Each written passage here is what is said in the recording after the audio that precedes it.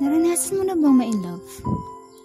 Yung tipong ang daming tanong sa puso't isip mo na hindi mo mahanapan ng sagot.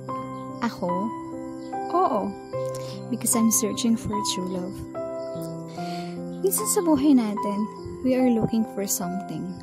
Someplace or someone where we think we belong.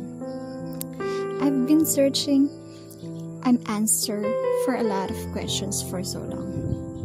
Is true love really exist? Is it really belongs to me? I've experienced a lot of painful things about love in family, in friends, or even in a special someone. I had a lot of unanswered questions. Naranasan ko na din yung maiwan sa ere. But despite of all those heartbreaks, I never surrender. I fight. I stand up after a fall. I stand up and search for more answers to all of my questions about true love. And now I can say I already found the one.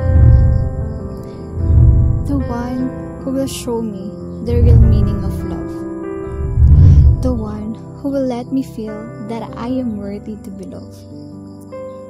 The one true love of my life. Yes, it's Him. It's Jesus Christ.